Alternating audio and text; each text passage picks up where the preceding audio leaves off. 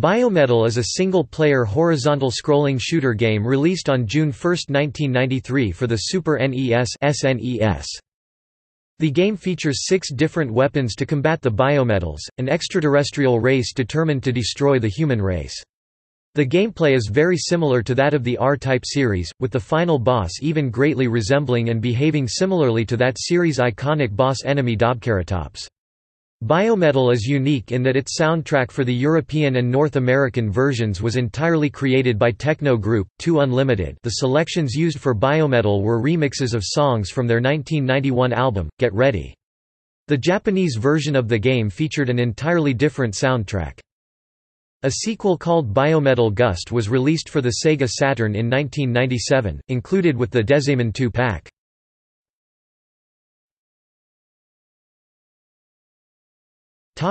Story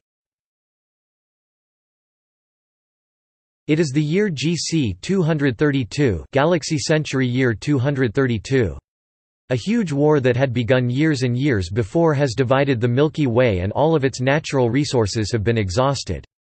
The Milky Way Galactic Council is forced to send a fleet of starships to a nearby planet by the name of UP-457 in search of any resources that can replenish the ones lost during the battle. However, during this mission, the fleet is destroyed by a race of half-machine, half-animal aliens referred to as BIOMETAL by the Galactic Council.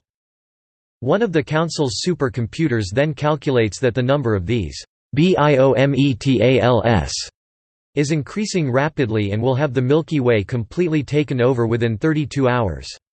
So the Halbard's crew, young pilot Kid Ray and biologist Anita a reference to the names of the two lead singers of 2 Unlimited, who provided the music for the North American, European version of the game, along with their fleet, WASP, are assigned to eliminate the hostile threat on UP-457.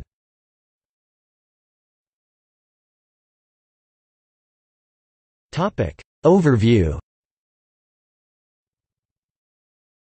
Weapon power-ups are gained by destroying pods and picking up the released power-ups, which cycle through the various weapon types as in Raiden. Some weapons cancel each other out. The player also has a shield in the form of four spinning orbs that circle around the ship when the engaged. Charge power is drained when the shield is active. The shield can be used as protection against enemy fire.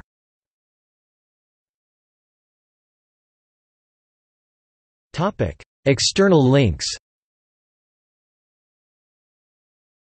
Biometal page on SHMUPS outdated. Biometal at GameFAQs. Biometal composer information at SNES Music. Org. Biometal at MobyGames